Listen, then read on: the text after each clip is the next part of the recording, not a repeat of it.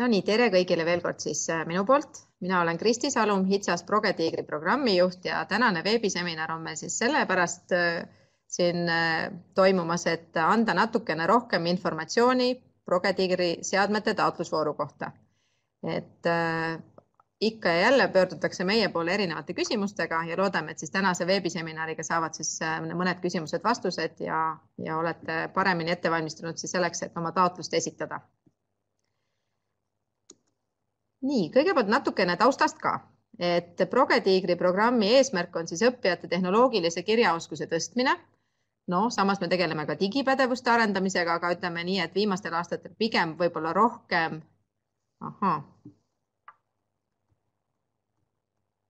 nii, ma saan aru, et mõnedel on meil siin natukene tehnilised probleemid. Te peaksite oma siis eh, mikrofon või oma need eh, kõrvaklapid ja asjad üle vaatama. nii, ma panen natukene omal heli valjemaks. nii. nii, palun andke tagasisidet, kes mind kuulevad, et ma saan aru, et mõned inimesed ei kuule, aga siis te peate oma seaded üle vaatama. sellepärast et äh, kui paljud inimesed kuulevad ja ma saan aru, et nii on, siis järelikult on ikkagi viga teie oma seadmes. et te peate siis oma seaded üle vaatama. nii, ja kui nüüd juhtub, et ei saa sellega korda, siis lihtsalt saate pärast salvestust järele vaadata, et ärge selle pärast muretsege. nii, aga ma lähen nüüd meie selle veebiseminari juurde tagasi. ma kahjuks nendele käe tõstmistele ei saa kuidagi reageerida, meil lihtsalt ei ole selleks aega.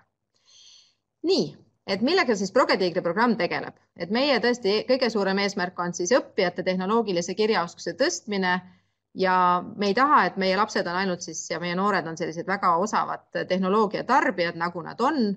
vaid et nad äh, saaksid ka selle arendajateks ja loojateks. Ja seeläbi siis meie kõigi tulevik muutuks järjest paremaks ja, ja toimiks kõik asjad järjest paremini. Ja selline kitsam või lähem eesmärk on siis see, et tõepoolest IT-d õpetatakse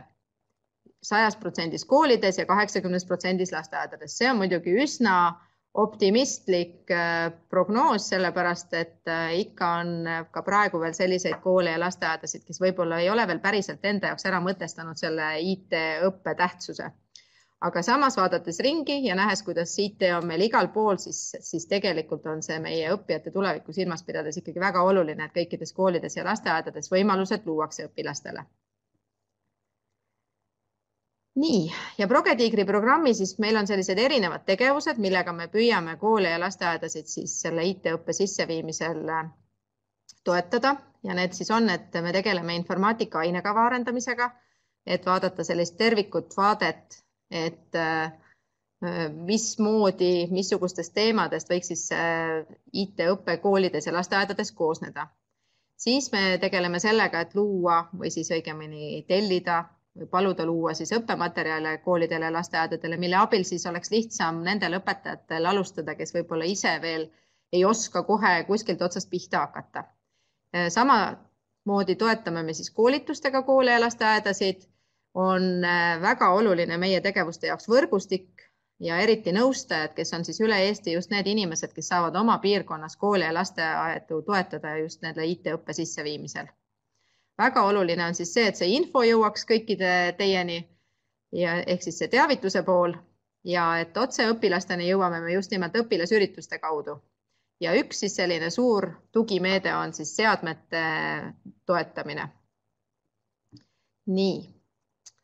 ja nüüd natukene siis varasemast statistikast ka, et see seadmete taotlusvoor on tõesti meil juba olnud aastast kaks tuhat neliteist, siin on mõned arvud teil ees kohe, kus te näete siis, et kui palju avaldusi meil on laekunud, kui palju me oleme saanud siis neid äh, avaldusi rahuldada, ehk siis kui paljud äh, asutused on meie käest siis seadmeid erinevatel aastatel saanud ja kuidas see summa on kasvanud, et noh, rõõm on näha, et see summa on tõepoolest praktiliselt kahekordistunud ja ka sellel aastal on siis meil summa suurem. nii et praegusel hetkel me võime öelda vastavalt siis sellele, kui palju meie oleme siin saanud teid toetada, et kuussada üksteist asutust üle Eesti on siis saanud meie käest toetust selleks, et siis soetada oma kooli need äh, vajaminevad seadmed veel mõned arvud siin ka eelmise aasta kohta, et eelmisel aastal meil laekus siis kolmsada üheksakümmend üheksa avaldust ja toetust said lõpuks sada kaheksakümmend viis eh, lasteaeda ja kooli. ja selle, nende hulgas siis esmakordseid ehk siis neid, kes varem polnud meie käest toetust saanud, oli kaheksakümmend üheksa ja korduvaid ehk siis neid, kes juba varem on saanud, oli üheksakümmend kuus asutust. Ja nüüd siis selle aasta juurde, sest see on see, mille pärast te olete siia täna kogunenud ja ilmselt see huvitab teid ka kõige rohkem. et äh, seadmete taotlusvoor siis äh, avanes meil juba kahekümne seitsmendal veebruaril ja aega on oma taotlust esitada kolmekümne esimese märtsini. ja siis kolmekümne esimese märtsi tööpäeva lõpuks peavad need avaldused olema meieni jõudnud, et me siis saaksime sealt hulgast siis äh, valida need, kes siis sellel aastal toetust saavad. et eelmisel aastal oli taotlusi peaaegu nelisada ja tegelikult praktiliselt miljoni euro eest sooviti saada toetust, aga kahjuks me siis jagada oli oluliselt väiksem summa ja sellel aastal siis on samamoodi meil ligi kolmsada tuhat eurot teile jagada. ja kodulehel siis leiate kogu info kõige selle, mis taotlusvooruga seondub täpselt siis selle lingi juures siin. Nii, ja siis meie eesmärk on siis, et mitte lihtsalt äh, hea südamega neid seadmeid jagada, vaid me tegelikult ikkagi tahame seda, et see IT-haridus oleks kättesaadav võimalikult paljudele õpilastele üle Eesti suurim unistus, et kõikidel oleks see võimalus, et saab algteadmisi anda ka nii, et sul seadmeid ei ole, aga oluliselt paremini teeb programmeerimise ja nähtavaks see, kui sa saad ikkagi näiteks robootikavahenditega asju ellu rakendada.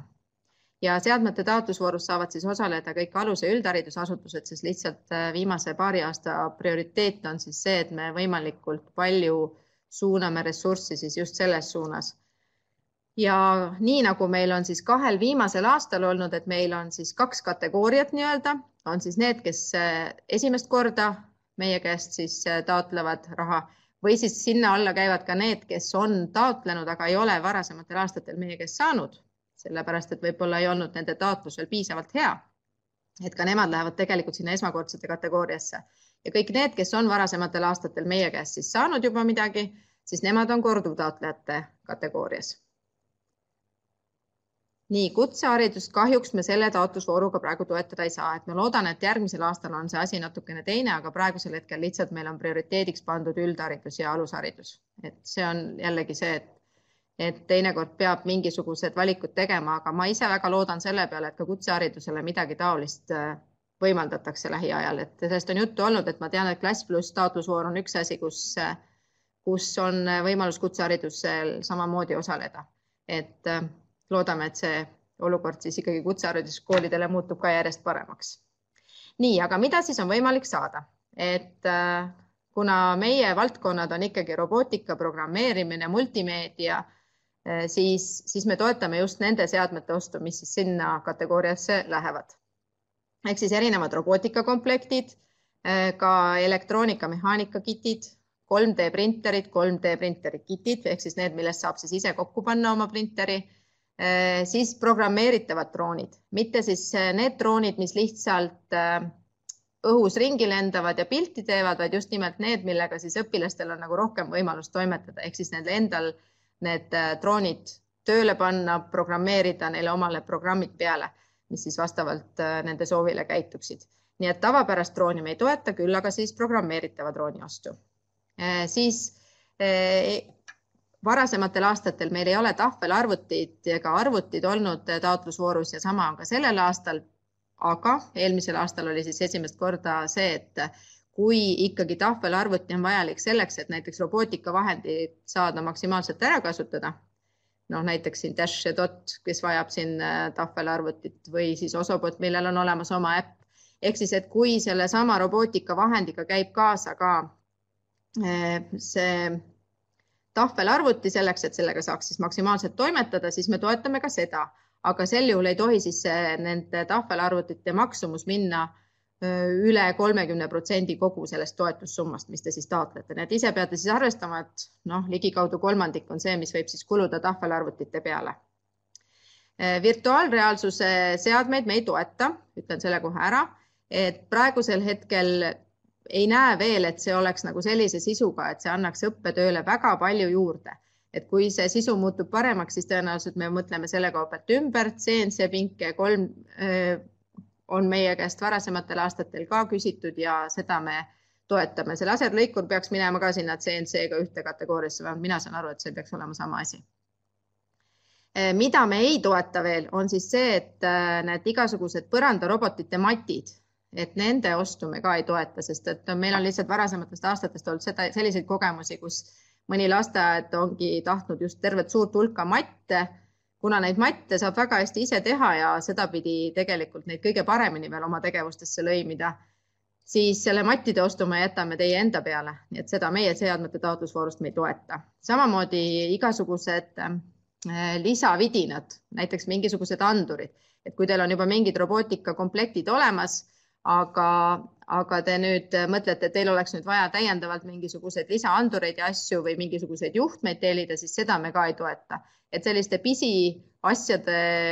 varude täiendamisega peate siis ise hakkama saama. kui aga näiteks te juba praegu taotlusvoorus tahategi saada, ma ei tea, EV3-esid ja sinna juurde on vaja mingisuguseid äh, lisajuhtmeid või asju, mis just on seotud sellega, et te neid üldse kasutada saaksite korralikult, siis, siis selles olukorras nad on õigustatud aga et eraldi me lihtsalt selliseid lisavarustust ei,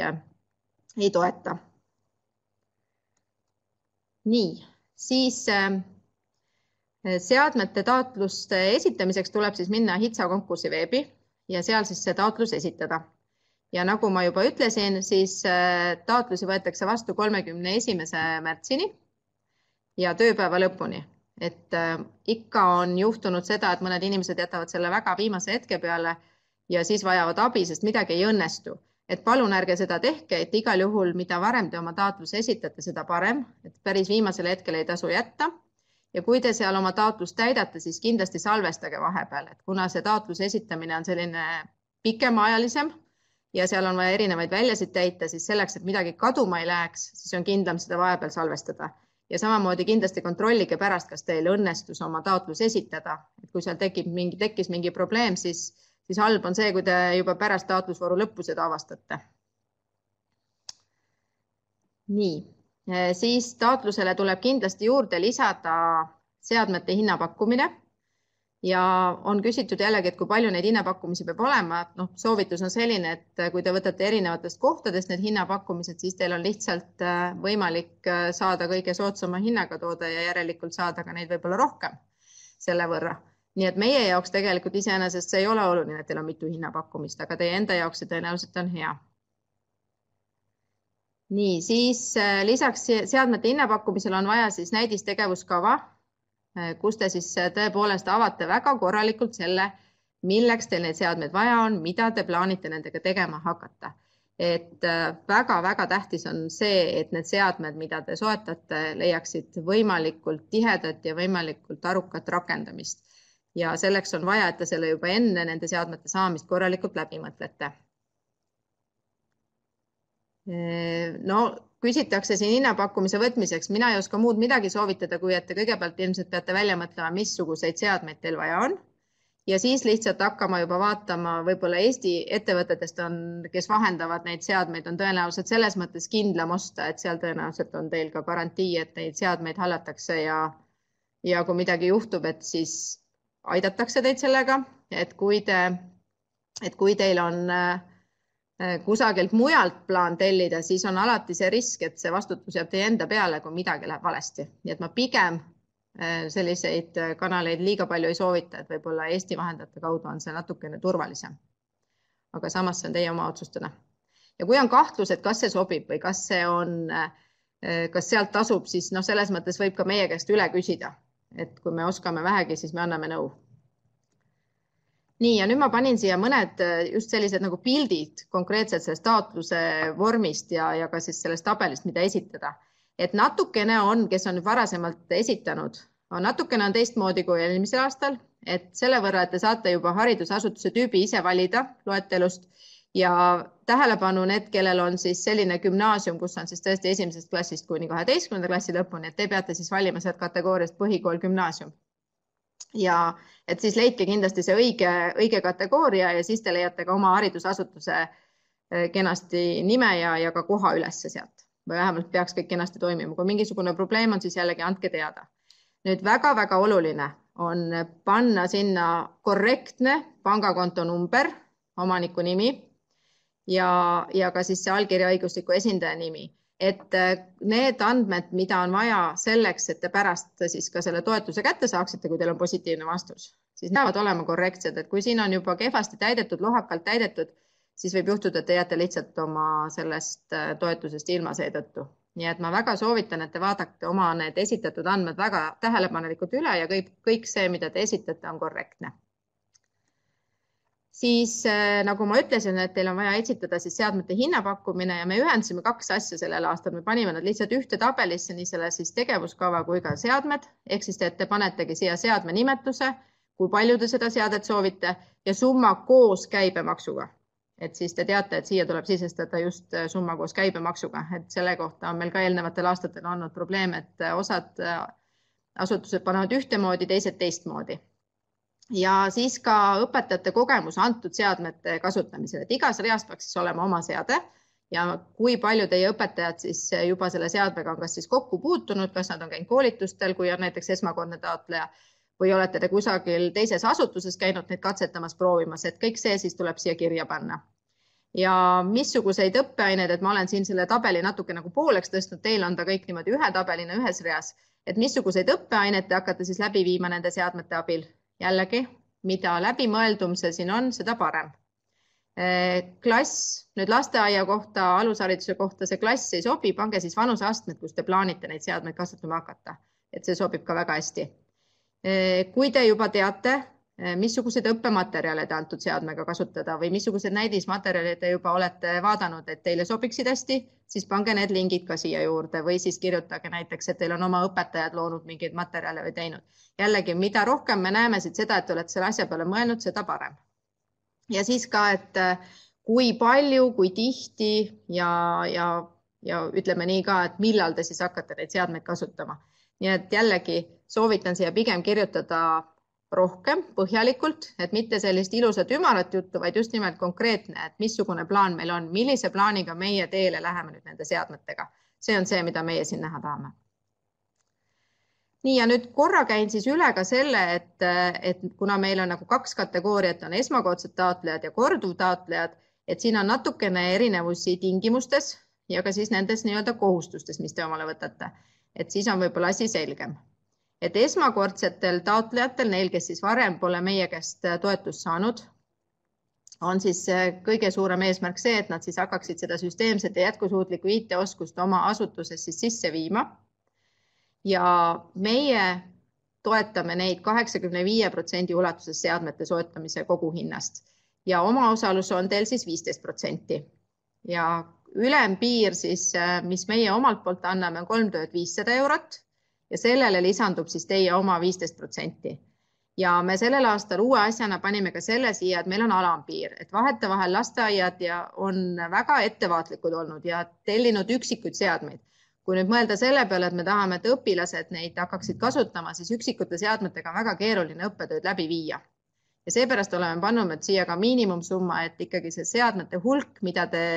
soovite siis saada oma asutusele, oleks selline, millega saaks tõepoolest õppetegevusi ka läbi viia. Ja sellele siis, nagu ma ütlesin, et maksimumsumma on kolm tuhat viissada eurot pluss siis teie omaosalus, aga kui teil on soovi ja näiteks on ka siis äh, finantse, siis, siis te saate ka soovi korral omaosalust suurendada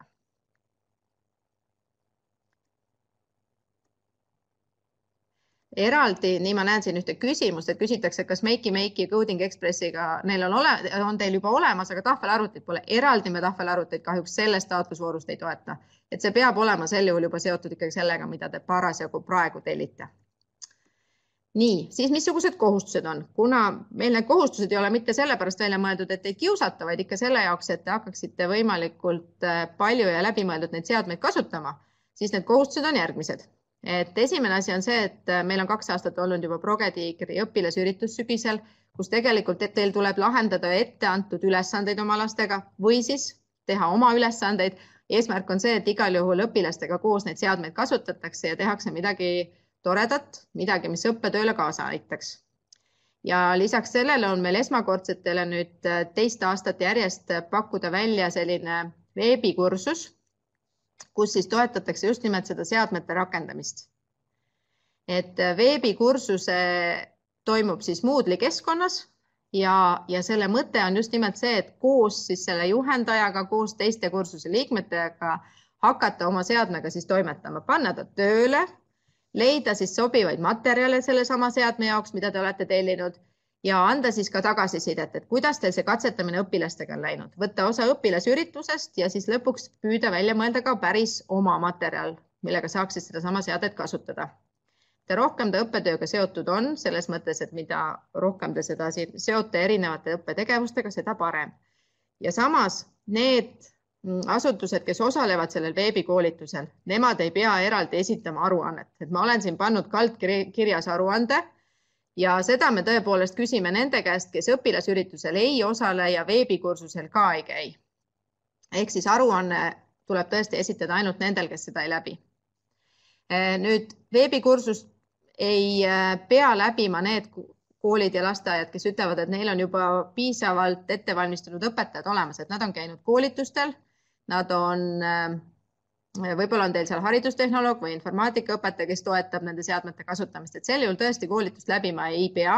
aga sel juhul me tahame siis saada teilt seda aruannet, kus te siis näitate ka ära, et kus ja millal ja kellega te neid seadmeid kasutanud olete.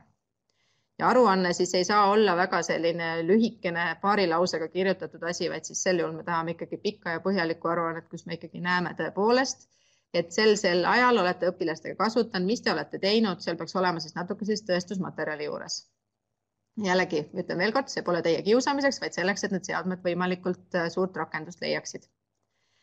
siis korduvtaotlejate puhul on siis selline asi, et äh, noh, nende puhul on juba teada, et nad on kuskilt otsast peale hakanud ja, ja juba IT-haridusega tegeletakse, aga et see siis ikkagi süsteemselt ja jätkusuutlikult jälg, jätkuks,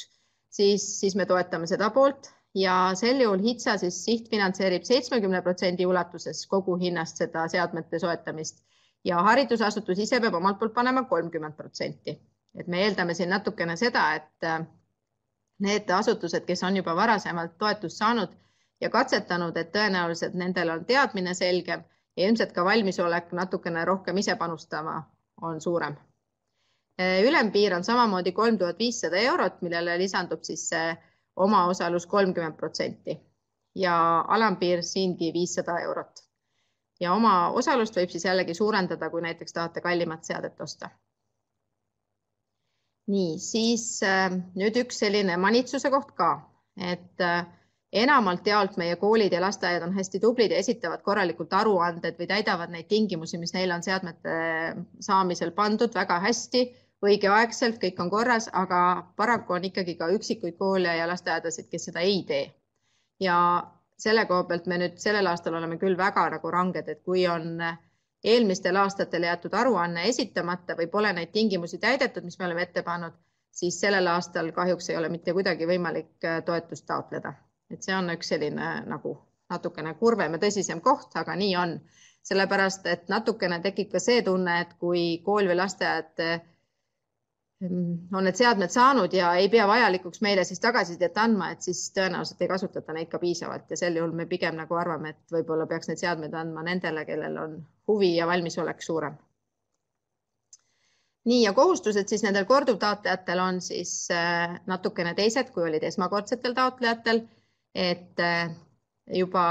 sellel kaks tuhat üheksateist taotlusvoorus me ootasime siis nendelt, kes äh, said korduvtaotlejatena toetust, metoodilist juhendit, siis sama asi on ka sellel aastal. ehk siis kas mingisugune projektiplaan, õppevideo koos tunnikavaga, tunnikavade kogumik, mida iganes, midagi sellist, kus on siis seotud erinevad õppeained, kus on seotud tehnoloogia ja ma pean ütlema, et sellel aastal laekus meile väga-väga häid tunnikavasid, väga häid plaane, väga toredaid materjale, mida me kõik nüüd järjest paneme siin ka järgmiste nädalate jooksul sinna meie Progetiigri kogumikku üles. Väga palju uusi eh, tunnikavasid ja uute vahendite kohta, nii et seal on päris selline korralik inspiratsiooniallikas, nii et ma ütlen, et, et selline metoodilise juhendi esitamine rikastab meid, meie kõikide nagu maailma kõvasti ja see annab inspiratsiooni väga paljudele. nii et see on siis esimene asi, metoodiline juhend teine asi on siis jällegi osa võtta Progetiigri sügisesest õpilasüritusest, mida me juba eelmisel aastal sidusime ka siis Codeweeki selle programmeerimisnädalatega. ja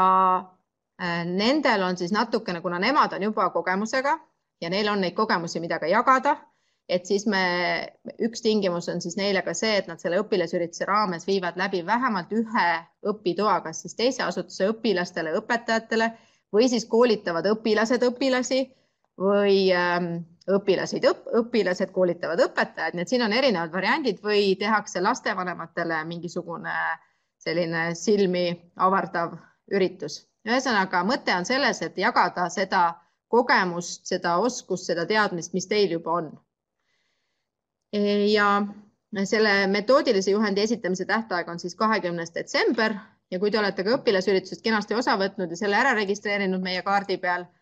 ja meie Facebooki grupis, siis, siis te samamoodi eraldi aruannet esitama ei pea.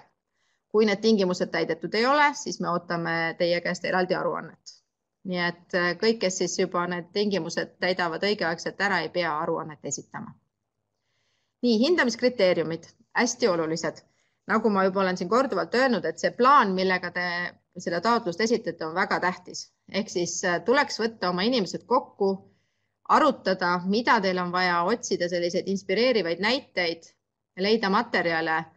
vaadata, missugune ettevalmistus teie õpetajatel juba olemas on või siis missugust ettevalmistust nad veel vajavad, kas neil on äh, vaja mingisuguseid eraldi veel koolitusi selleks, et kasutama hakata. ehk siis mõelda ja arutada omavahel korralikult asjad läbi ja väga tähtis siis hindamise juures on siis see, et kas sealt tuleb välja see kasutuse eesmärk, kas te olete põhjendanud oma vajadust korralikult, et äh,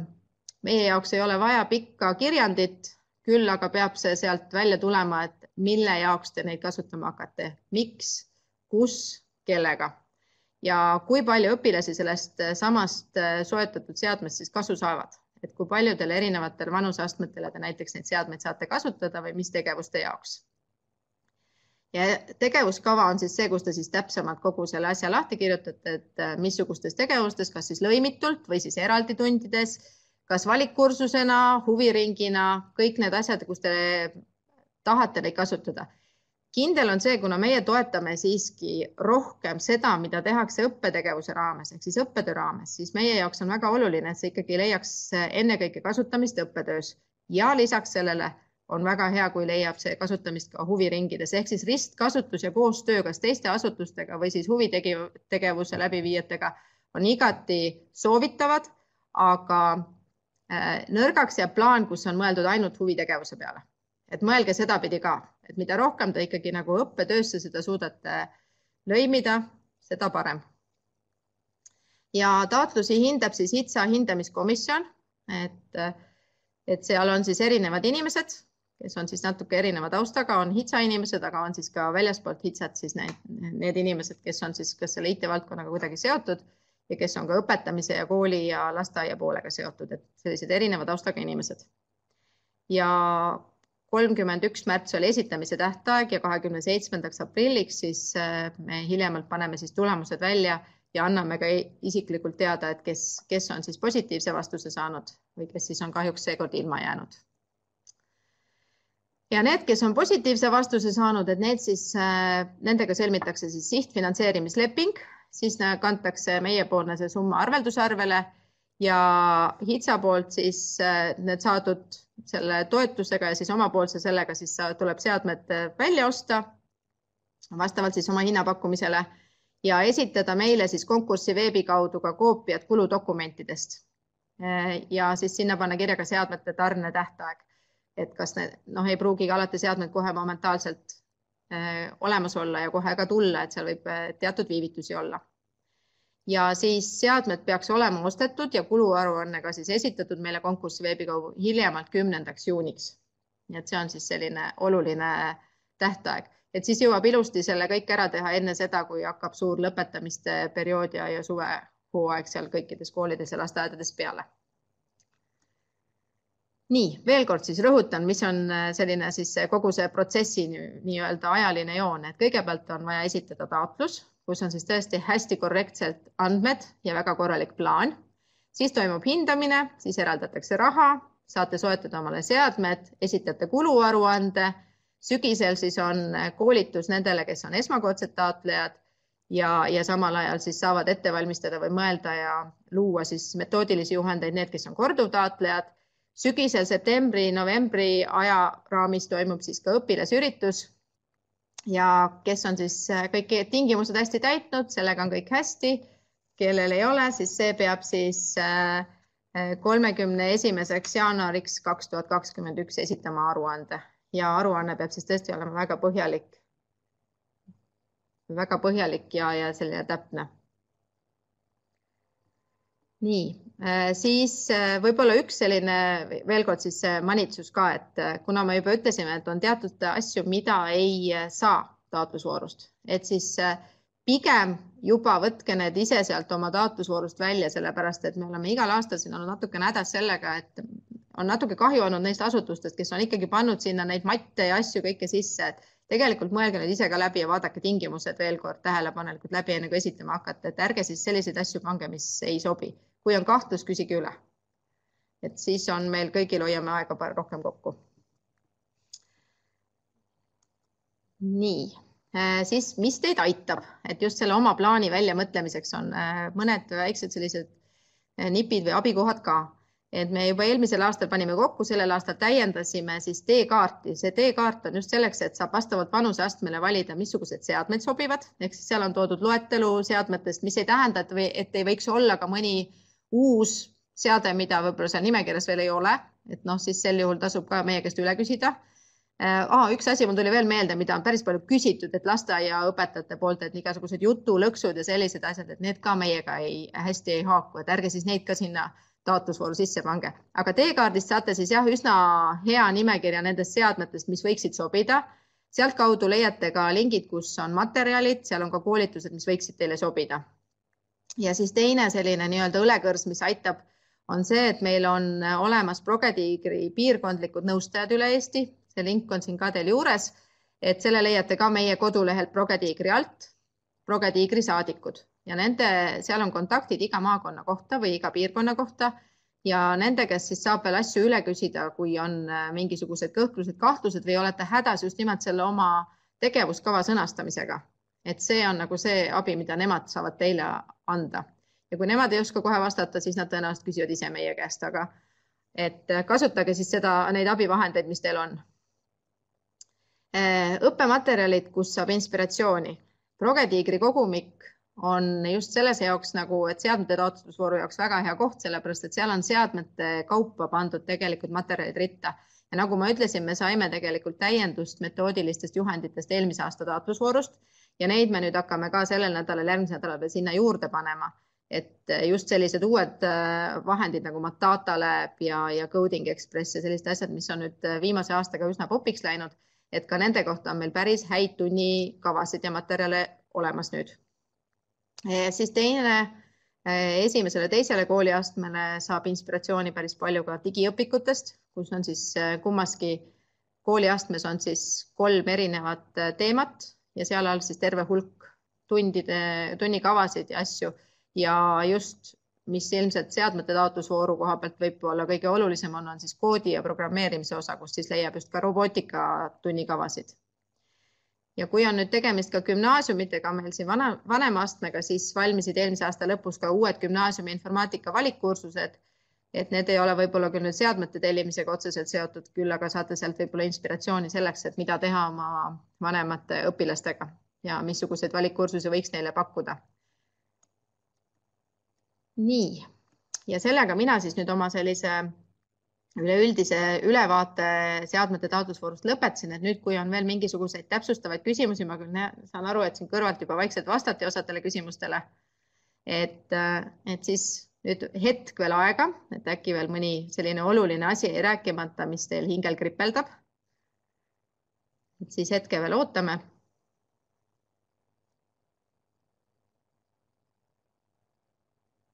nii ja äh, esitlus eraldi, selge ma panen, me paneme kodulehele välja nii selle salvestuse kui ka esitluse. et selles mõttes on õigus küll, et siit esitlusest te saate kõige paremini kätte need lingid, mida teil vaja on ilmselt ja selle info, mida teil vaja on. Nii, ja ma näen, et Annika on siin väga hea nipi andnud ka, et kindlasti üle vaadata need tahvelarvutite spetsifikatsioonid, et mida teil vaja on. et äh, üks asi veel üldse, kui äh, eriti esmakordsetel taotlejatel, et kui te ei tea päris täpselt, mida ja just peaks taotlema ja kas meie asutusse just see sobib kõige paremini, siis tegelikult üks väga hea asi on ka see, et nende lähedal olevate koolide, lasteaedadega suhelda ja kellel juba on seadmed, kes juba toimetavad, et ma arvan, sealt saate te päris häid näpunäiteid, et mis just sobiks ja mille jaoks miski on hea ja mida kõige paremal moel saaks ära kasutada just nimelt teie asutuses ka. et selline Eh, abi on ja siis meie nõustajad, nagu ma ütlesin, on kindlasti ka need, kes hea meelega aitavad just selle seadmete valikul teid ja oma plaani väljamõtlemisel. et kõige, kõige olulisem on ikka see, et need eh, seadmed eh, on tõesti pärast ka väga korralikult kasutuses, sest seadmete jaoks ausalt öeldes on kõige hullem see, kui nad seisma jäävad, et noh, rahast on ka kahju, aga teisest küljest on ka see, et sageli need seadmed siis kaotavad oma väärtuse ja lihtsalt ei, lakkavad töötamast, nii et ühel hetkel, kui tekib õpetaja, kes on valmis kasutama, siis, siis enam ei saagi nendega midagi teha. nii, aga igal juhul mina tänan teid väga, et kui nüüd jäi veel midagi õhku, midagi olulist või midagi pärast hiljem tuleb veel meelde, mida tahaks veel küsida, siis kirjutage või helistage või siis pöörduge meie nõustajate poole ja igal juhul hea meelega aitame ja edu teile kõigile siis seadmete taotlusvoorus taotlemisele ja kuna alati on taotlusi oluliselt rohkem kui on neid, kellele me lõpuks saame siis seda toetust anda, siis äh, kindlasti me väga hoolega äh, kaalume seda, kes seda toetust saavad ja kas, kelle plaan on kõige parem ja kes on äh, kõige rohkem asjad läbi mõelnud. Et tõesti, see plaan on väga tähtis, aga pärast, kui juhtub, et teie ikkagi seekord ei saanud, siis ei tasu nagu kuri olla. me tõepoolest väga hoolega mõtleme seda, et võimalikult paljudele saaks anda ja toetada. aga lihtsalt Äh, raha paneb piirid peale, et päris kõigile me tavaliselt anda ei saa lihtsalt. nii, suur aitäh teile kõigile ja kena õhtut